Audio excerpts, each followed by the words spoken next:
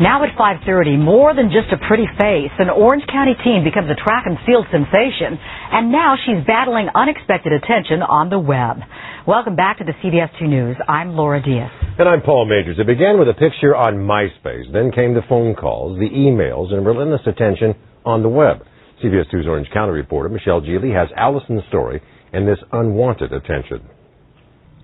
In the prep sports world, Newport Harbor High School pole vault champion Allison Stokke is a big name. As a freshman, I broke the national freshman record. Um, that was, I think it was 12.6 before, and I broke it at 12.8.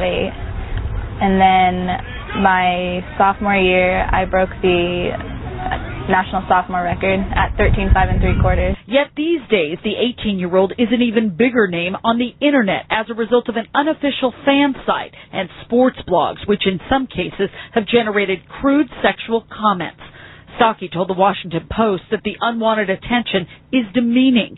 And the thousands and thousands of web hits that this one girl has received is no doubt alarming to parents whose own kids are willingly putting photographs and information about themselves on the internet. We are in a sharing world. Uh, there's just literally no way to stop it. So um, I think that education process about working with your, that communication with the parent, with your child to say, you know, you need to understand what, and, and I think using the example that uh, out of Newport Harbor is, is one that can bring the lesson home for a child. Say, you know, she didn't know, and here it is popping up. This could be you. So, you know, think twice about what you're doing.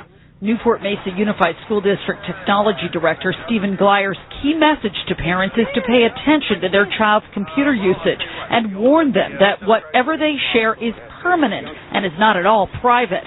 Miles Rogers attends Newport Harbor, where Allison Stokke is a senior. He was unaware of the controversy but knows firsthand how internet imposters create trouble. There's problems with MySpace hacking where like users can log on and like sort of post comments that you didn't really post. Like there's bulletins and stuff, so they post things that you didn't say. And here's another thing to remember. That silly video of yourself that you've posted on the web just may come back to haunt you. When you're interviewing for a job in 10 years, your future boss may find it. In Newport Beach, Michelle Geely, CBS 2.